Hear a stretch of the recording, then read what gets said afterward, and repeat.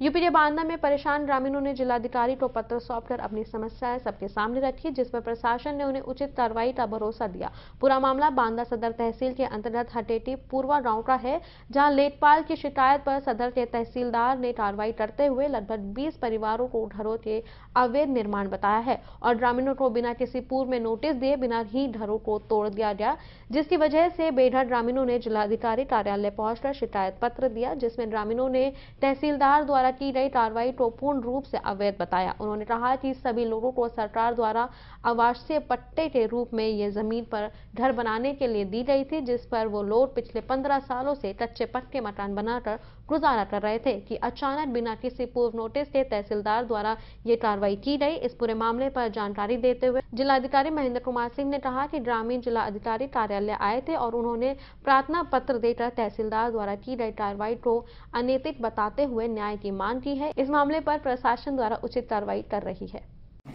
कौन से गाँव से आई हैं? हम यहाँ पटरिया खदान क्या समस्या है? हमारी ये है कि हमारा सारा हम यहाँ रहे नहीं है बाहर चले गए थे। सारा सामान मेरा रखा था सारा गिर गया मेरा सब चट कर दिया किसने किसने गिराया?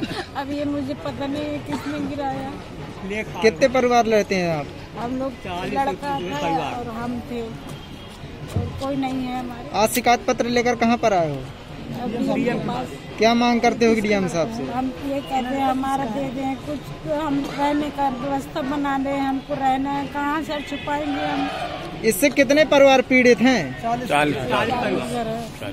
सारा सबको गिरा दिया है। मेरा कुलदीप कुमार नाम है सब कहाँ से आए हैं? क्या समस्या है?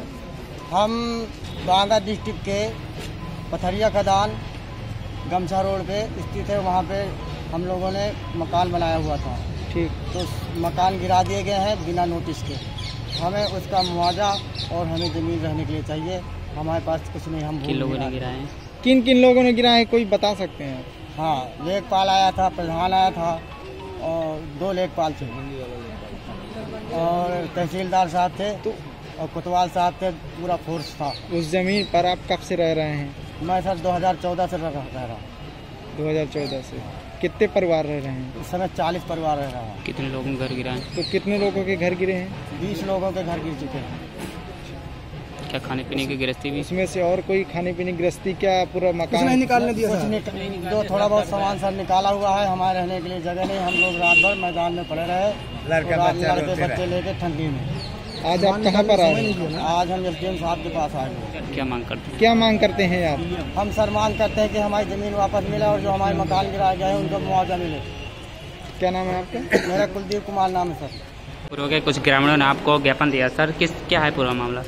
इन लोगों ने एक ये प्रार्थना पत्र दिया है जिलाधिकारी महोदय को संबोधित कि। इसमें एक ये जो कल तहसील से लोग जा करके इनके घरों को गिरा दिया है तो इसमें दिया है तो जाँच करा लेते हैं। क्या है, हो सकता है कि अवैध रूप से बना हो, क्या बना हो तो जाँच कराने के बाद पता चलेगा कि जो सौ फ़ीसदी प्लेसमेंट के साथ हम देंगे आपको मौका। Live 24 media institute admission open registration के लिए कॉल करें। Nine five six zero four six four one seven zero nine five six zero four six four one seven zero